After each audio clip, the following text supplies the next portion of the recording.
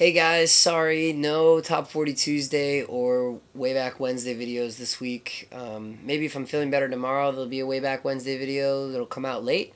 But I'm um, feeling under the weather and uh, just I am not feeling up to it. My voice is not feeling up to it. I recorded a version of Shawn Mendes's Stitches and it just was not where I wanted it to be. So, um, if you guys want to hear some stuff, you can uh, download some of my original music actually that I just put out this week. Um, we had a gig Saturday, April 2nd, went really well.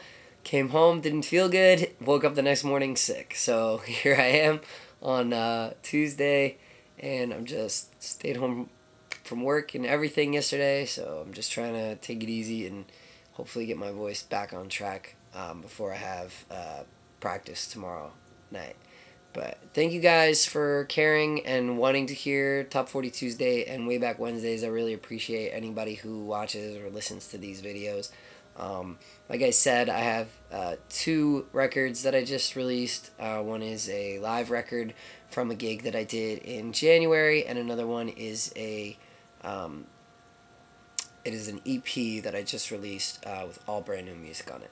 So uh, click in the link below, check that stuff out. And uh, I'll see you guys next week. All right. Bye.